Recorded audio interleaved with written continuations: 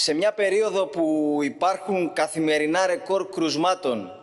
εξαιτίας της πανδημίας και κυρίως εξαιτίας της πολιτικής που αφήνει το λαό απροστάτευτο απέναντι στην πανδημία,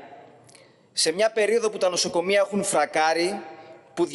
διασωληνώνονται άνθρωποι εκτός μεθ, σε μια περίοδο που το σύστημα υγείας έχει ξαναγίνει σύστημα μιας νόσου με διαλογή ασθενών και με αναβολή αναγκαίων ιατρικών πράξεων, χειρουργείων, θεραπείων για άλλες ασθένειες,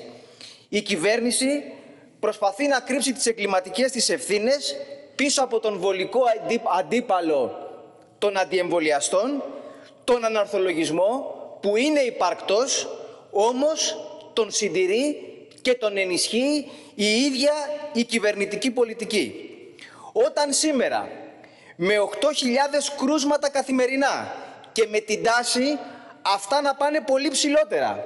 Δεν υπάρχει ακόμη επιστημονικά τεκμηριωμένη εμβολιαστική εκστρατεία, εμβολιαστικό πρόγραμμα με προληπτικό έλεγχο και ιατρική παρακολούθηση των εμβολιασμένων. Όταν συγχωνεύονται τμήματα σε σχολεία, αντί να αραιώνουν για να μπορούν να προστατευτούν τα παιδιά, οι γονείς, οι εκπαιδευτικοί, όταν στα μέσα μαζικής μεταφοράς οι επιβάτες είναι σαν σαρδέλες, ο ένας πάνω στον άλλον, όταν το δημόσιο σύστημα υγείας, το οποίο έχει προπολού ξεπεράσει τα όρια του,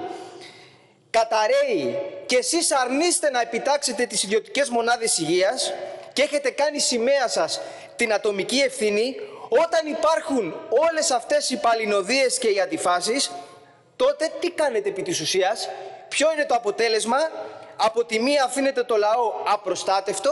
και από την άλλη καλλιεργείτε τη δυσπιστία απέναντι στον εμβολιασμό σε έναν κόσμο που θα μπορούσε ακόμη και σε αυτές τις συνθήκες να πιστεί, καλλιεργείτε το κλίμα διχασμού για να κρύψετε και να μείνουν στο απειρόβλητο οι δικές σας ευθύνες και για τα ποσοστά εμβολιασμού και για την έλλειψη μέτρων προστασίας αλλά και για την κατάρρευση του δημόσιου συστήματος υγείας.